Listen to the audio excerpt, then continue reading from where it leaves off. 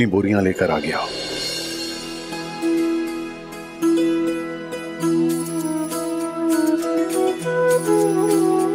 ओ हरि के नाम की चले निरंतर धुन यूँ ही मन में सुबह शाम।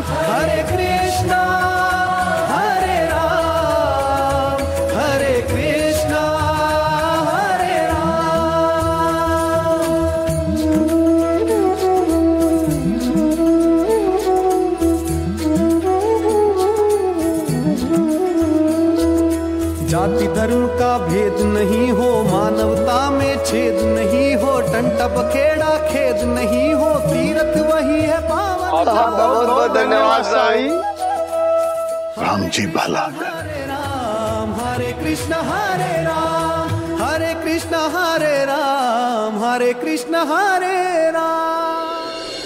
ये मैंने क्या कर दिया? मैंने क्यों छोड़ा मेरे को अकेला? कुछ नहीं होगा वापस आ जाओ कुछ नहीं होगा। मैं आपको संभालू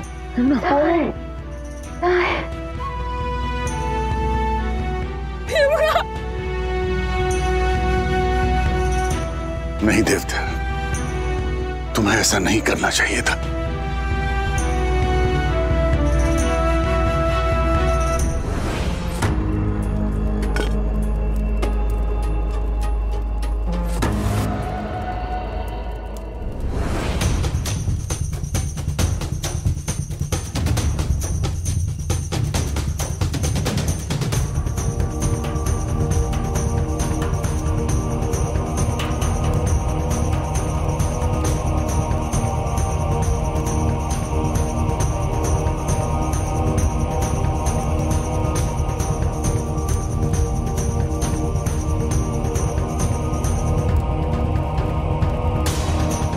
मैं जानता था।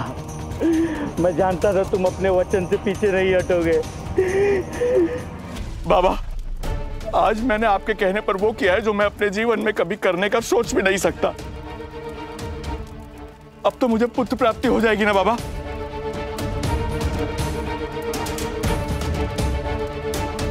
बाबा!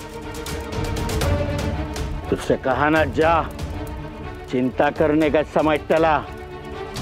अब चिंता मुक्ति का समय है। जा बाबा बाबा बाबा मैं आपके आगे हाथ जोड़ रहा हूँ। इस शरीर के जिस अंग की आपको बलि चाहिए ले लीजिए। मैं अपने रक्त की एक एक बूंद देने को तैयार हूँ लेकिन इस नवजात शिशु की बलि। बाबा क्या कोई और विकल्प नहीं हो सकता? हट बाबा! अगर इसमें विघ्न डालेगा तो तू और तेरा कुल पछताएगा।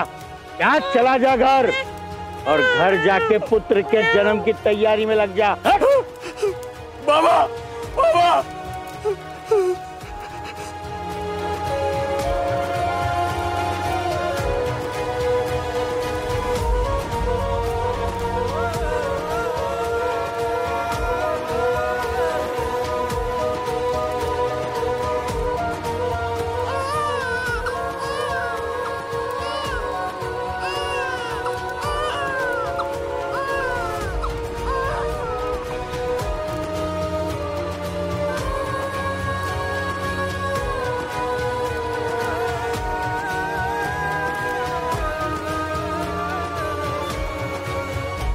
हो जा चुप हो जा। चुप हो जा, फिर उसके बाद तो तुझे हमेशा हमेशा के लिए चुप होना है। चुप। तू बड़ा भाग्यशाली है कि तुझे इतनी जल्दी मैं जीवन के कष्टों से छुटकारा देने वाला हूँ।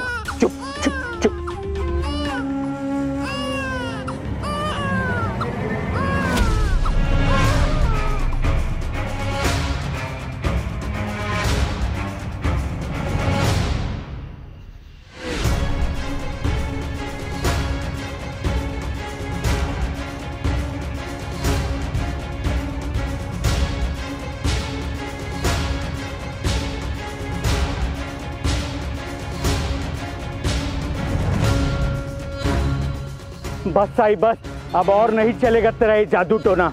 मुझे मजबूर मत करके मैं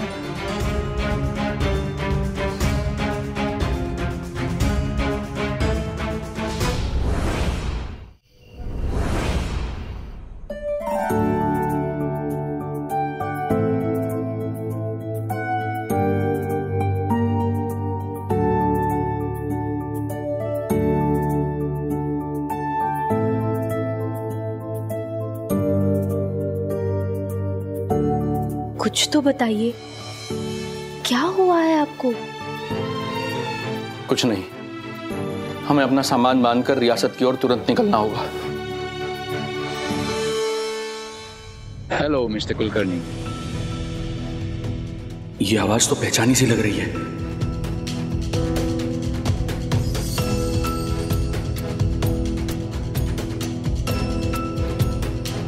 वेलकम मिस्टर डैनियल कुलकर्णी हाँ। हमने सुना है राजा देवदर शिरडी में देखे गए हैं। हाँ राजा देवधर के बारे में सुना तो है। मतलब हमने पूछताछ तो की लेकिन कुछ पता नहीं चला उनका। अगर वो शिरडी में है तो आज नहीं तो कल पकड़े जाएँगे। और एक बात बताऊँ जो लोग कानून से भागते हैं ना वो एक जगह ज़्यादा देर टिकते नहीं है। हो सकता है अब तक वो शिरडी से प्रस्थान कर चुके हो। गुड बे अपने आँखें और कान दोनों खुले रखना। अगर कुछ भी खबर मिले तो हमें इन्फॉर्म ज़रूर करना। अवश्य बताऊँगा? अंग्रेज़ सरकार के लिए तो जीता हूँ मैं। Okay I need to leave now अभी मुझे चलना होगा। बाय बाय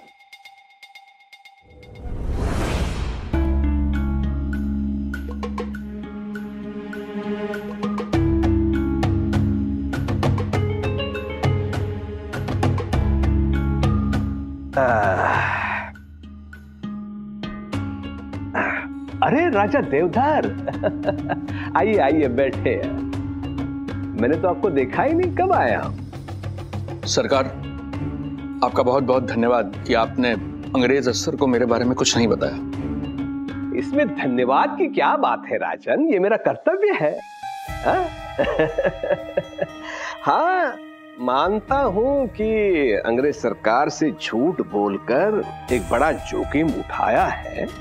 लेकिन मैं अपना वादा पूरा करके ही रहूँगा। आपको आपके राज्य तक छोड़कर ज़रूर आऊँगा मैं सुरक्षित हाँ? लेकिन राजन उसके बदले में एक छोटा सा काम करना होगा मेरा एक छोटी सहायता चाहिए थी आपसे। कहिए सरकार क्या कर सकता हूँ मैं? देखिए राजन आप तो महाराजा हैं। बहुत बड़े राजा हैं आप आपके पास तो लाखों एकड़ ज़मीन है? बस उसमें से, बस, एकदम मतलब नगण्य, बस मतलब इतनी सी, इतनी, एक हज़ार एकड़ ज़मीन आप मुझे दे दीजिए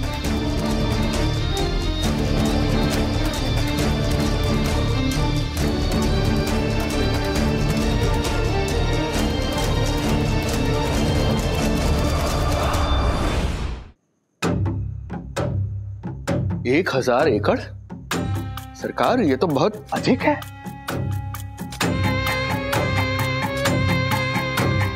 अधिक है? आपके प्राणों की रक्षा की वो कुछ भी नहीं। आपको बचाने के लिए अंग्रेज़ सरकार के साथ मैंने इतना बड़ा विश्वासघात किया, वो कुछ भी नहीं। महाराज, कल अंग्रेज़ सरकार को पता चल जाएगा कि मैंने उनके साथ झूठ बोला है तो सब कुछ छीन लेंगे मेरा वो।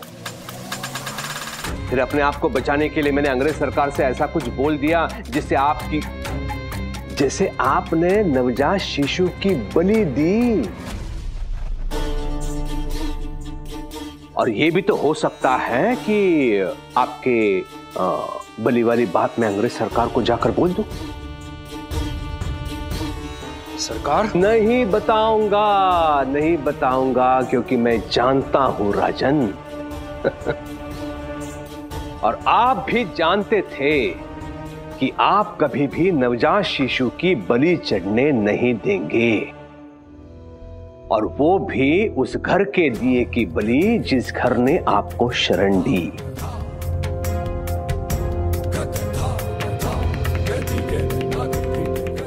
इंसान जब विवश हो जाता है तो न जाने क्या क्या कर बैठता है, किसी भी हद तक जा सकता है। हरिओम और राजन, यदि आपकी दी हुई एक हज़ार एकड़ ज़मीन मेरे पास हो तो अंग्रेज़ सरकार से डरने की मुझे कोई आवश्यकता नहीं। फिर आपके सारे रहस्य मेरे मृत देह को भस्म करते चंदन के लकड़ियों के साथ स्वाहा हो जाएँगे, हरिओम।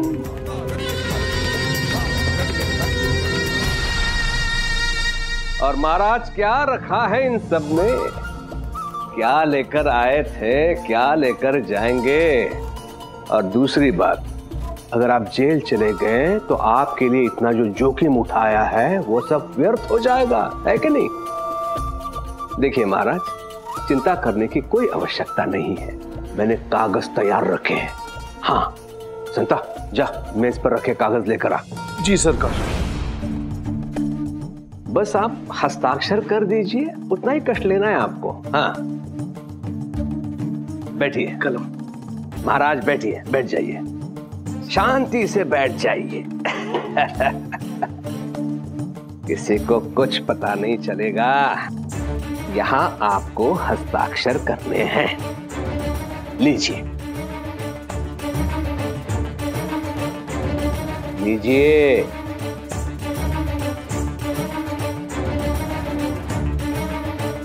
यहाँ। हस्ताक्षर।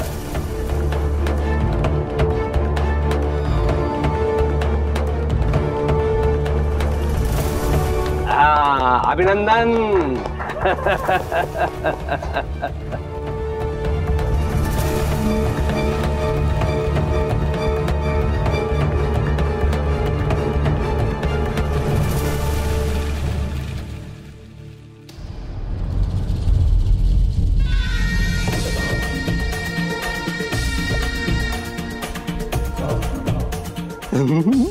मान गया सरकार मान गया आपकी बुद्धि को। ऐसी बुद्धि मैंने आज तक नहीं देखी। बैठे बिठाए एक हज़ार एकड़ के मालिक बन गए आप। मैं तो कहता हूँ सरकार लगे हाथ। महाराज देवदर के सारे हीरे जवाहरात भी ले लीजिए आप हाँ। जब गधा कहीं का। सोने का अंडा देने वाले मुर्गी को झट से काटने वाले तेरे जैसे मूर्ख होते हैं। महाराज, देवधर से तो बहुत सारे उपहार आगे लेते ही रहेंगे। लेकिन अभी बारी है उस फकीर को मिट्टी में मिलाने की। क्या करना है ध्यान से सुन। गाँव में जाकर ये सबको बता दो कि आज अमावस की रात है। काला जादू अपने चरम पर है। और आज ही वो फकीर गाँव से चला गया है।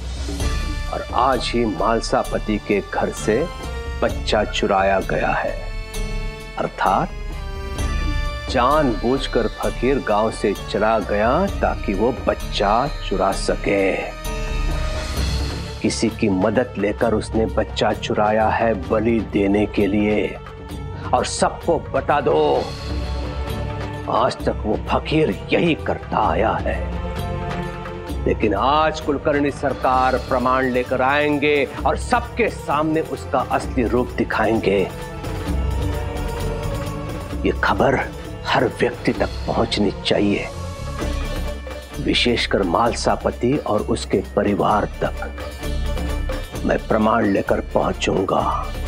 आज तक मेरा जितना अपमान हुआ है, उसका प्रतिशोध हरिओम!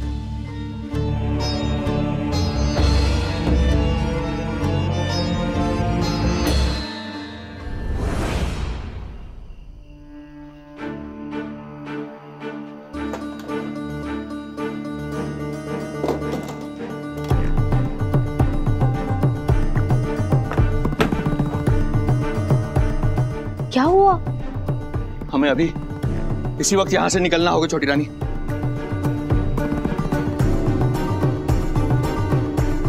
इतनी रात? छोटी रानी पहले ही पुलिस हमारे पीछे पड़ी। है अब जितना ज़्यादा और यहाँ रुकते जाएँगे उतना हमारे पकड़े जाने की संभावना बढ़ती जाएगी।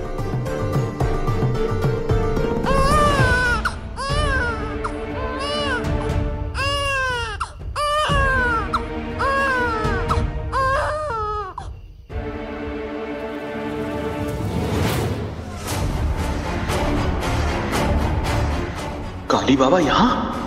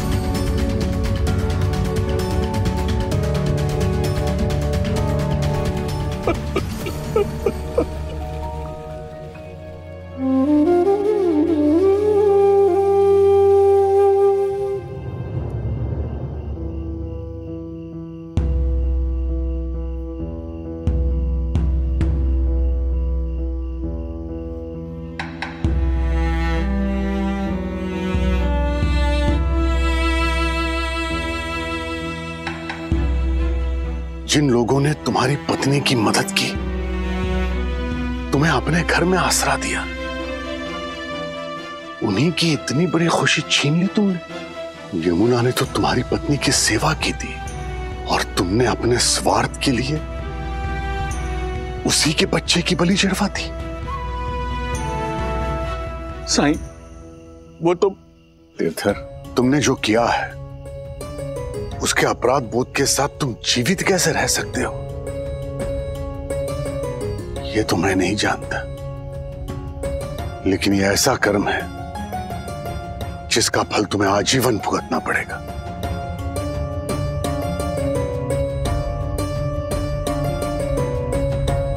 रुको देवधर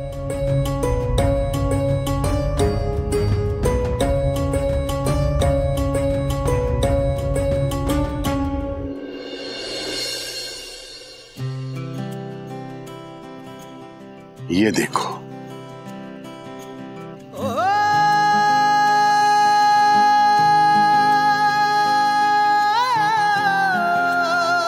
ये मैंने महालसा पति जी को देने के लिए बनाया था।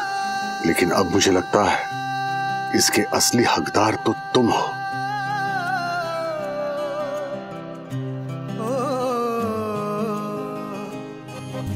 इसका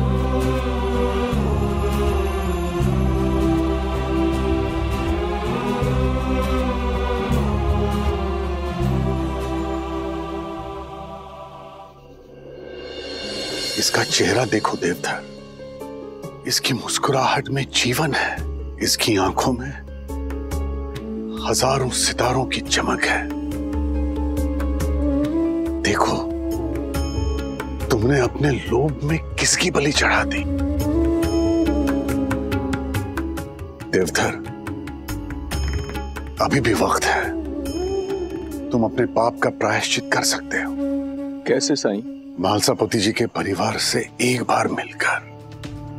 मैं उनका सामना नहीं कर पाऊँगा साईं लेकिन अपने राज्य लौटकर उनकी क्षति पूर्ति के एवज में जितनी संपत्ति जितना पर्याप्त धन दे पाऊँगा ज़रूर दूँगा। ताकि विष्णु और यमुना अपने नवजात शिशु के दुख को भूल जाए ताकि मालसापति जी और उनकी पत्नी अपनी नाती के खो जाने का दुख भूल जाए। कितना धन काफ़ी होता होगा ऐसे काम के लिए देवधर क्या तुम्हें लगता है कि तुम उनके दुख की कीमत चुका सकते हो? अगर अपने मन की शांति चाहते हो तो खुद जाकर उन सबको बताओ कि सच्चाई क्या है।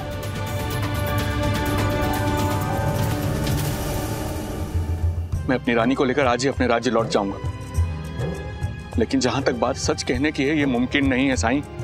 जाने से पहले एक बात सुन लो देवता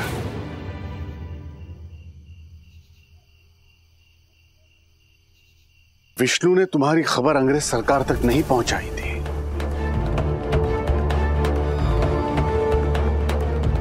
फिर किसने कहा? तुम तो राजा हो देवधर। खुद सोच लो। कौन है ऐसा? जिसके पास तुम्हारी खबर और अंग्रेज़ सरकार तक पहुँच। दोनों है। और उसे तुमसे बहुत फ़ायदा होना हो। मुझे कुछ समझ में नहीं आ रहा है लेकिन मैं इतना जानता हूँ कि मुझे आज ही यहाँ से वापस जाना है।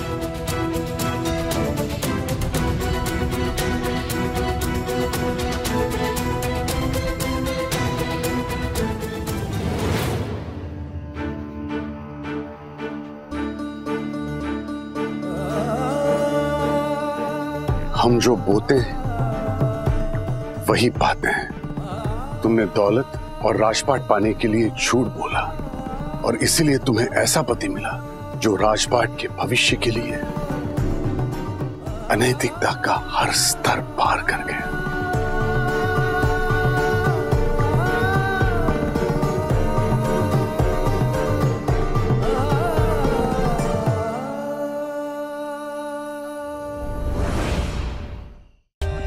For more updates, subscribe to our channel, click the show links and enjoy watching the videos.